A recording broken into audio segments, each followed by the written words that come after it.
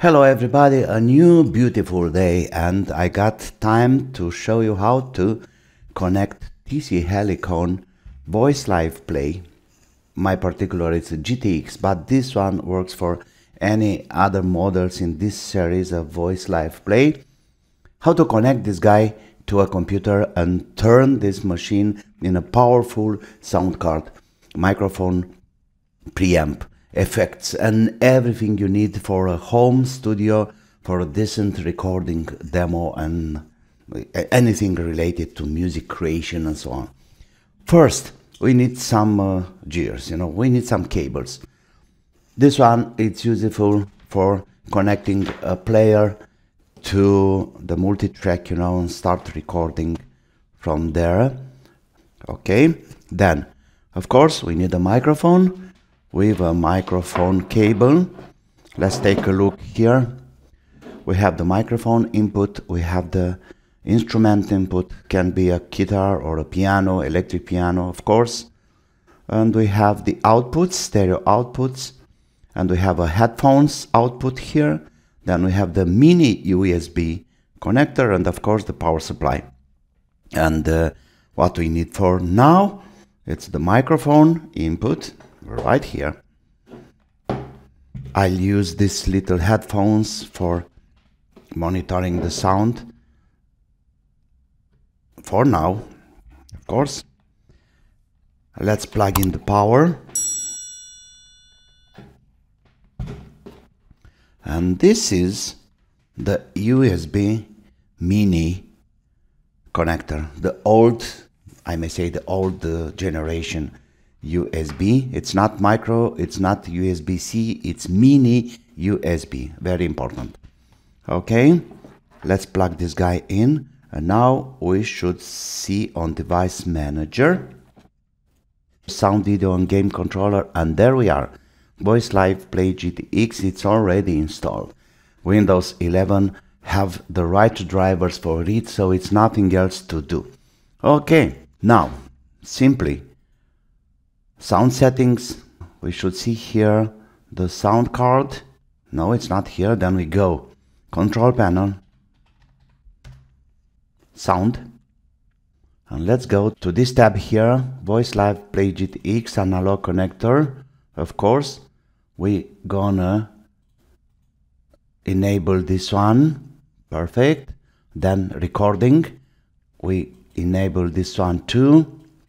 And we are good to go. Let's see any change here. Sound. Yeah, we are perfect. By the way, let me play something. We should hear the sound in the headphones.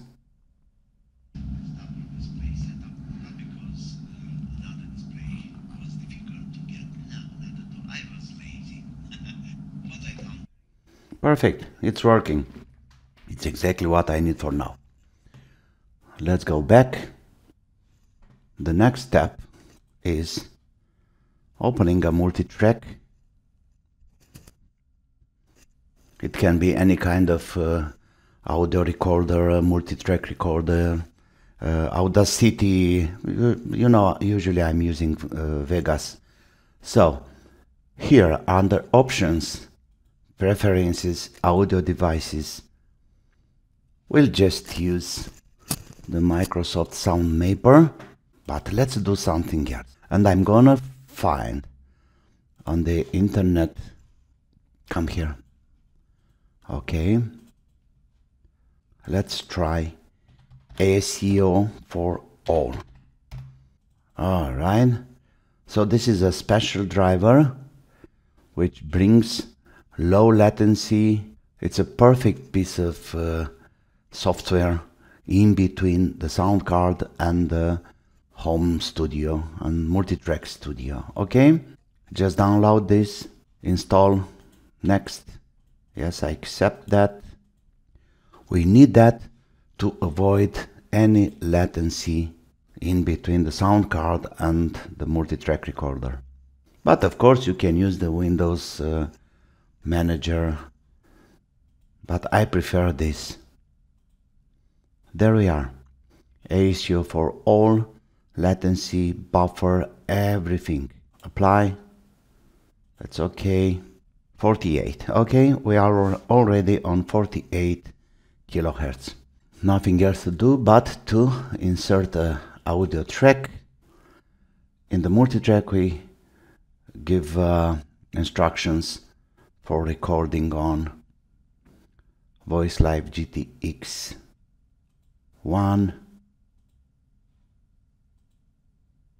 and we should have and we have already as you can see on the screen we already have a microphone signal. Hey yeah. Hey yeah. Try not to go higher than green light on GTX all right now very simple. So the microphone is ready to to record but we need something else so I'm gonna do another two tracks. Audio and another audio. Why?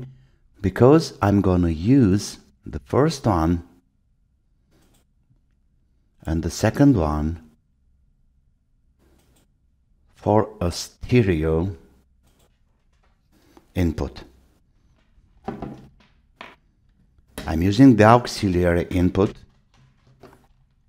Let's say if you already, uh, I mean, if you don't have already a pre-recorded backup, let's say, let me find something here. Let's play this one. Obviously, we have signal there. We can check that on the headphones. So, we are ready to record.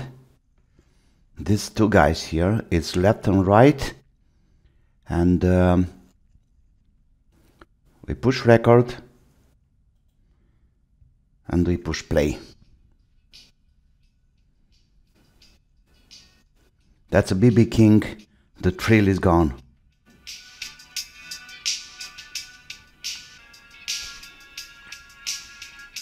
It's working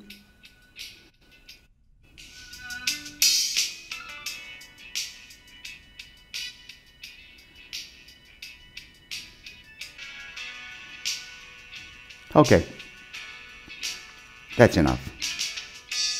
We have the first track recorded. I think I have a problem with these little headphones. Let me bring something uh, serious here. Yeah, everything is fine now. Yeah, it was a problem of connector or something. Sounds good. You'll say why I'm using headphones because we're gonna record some microphone, voices, vocals, stuffs like that. Obviously I need the lyrics there. So I need to get ready to have some uh, microphone, microphone recording. I already have a patch here. Okay, do we have a, okay, we have sound there. The microphone is ready to record. I have some effects here. Let's take this out, you know let's make it uh, let's make it as clear as possible. How's this sound now? Yeah now it's very very very very clear. Oh yeah. We don't need any voices for now.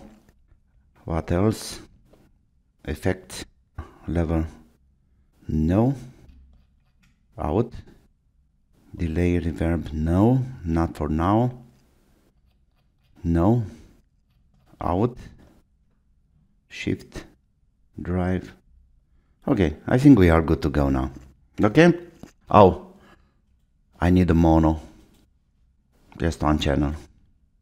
Let's go. The thrill is gone. The thrill is gone away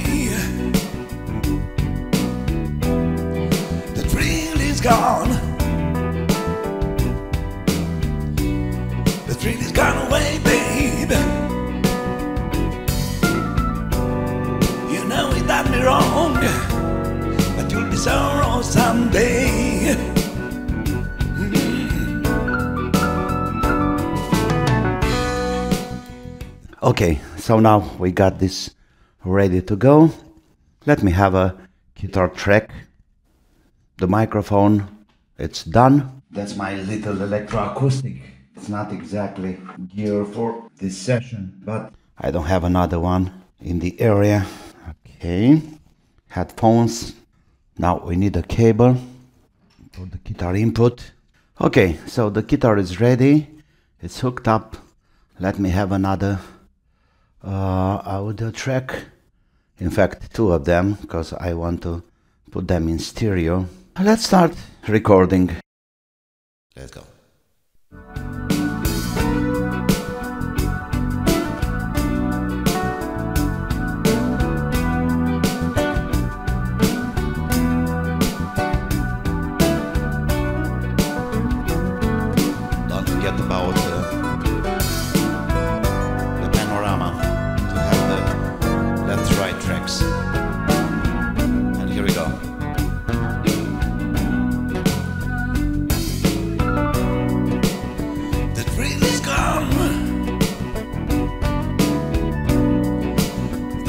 Gone.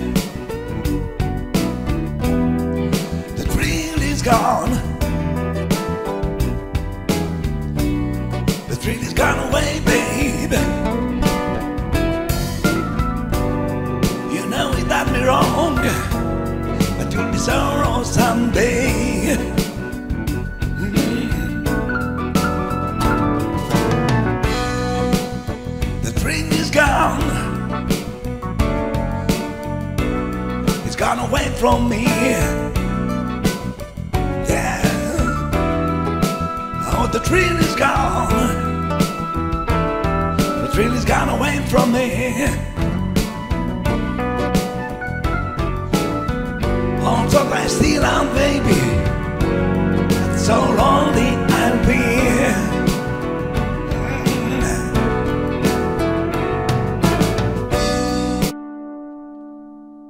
Okay, so that was the guitar track done. We can raise the volume here to a certain level. And of course, now we can work in the multi-track, having uh, effects, having uh, whatever you like. Let me just have a simple, a very simple reverb for the voice. That's nice, perfect.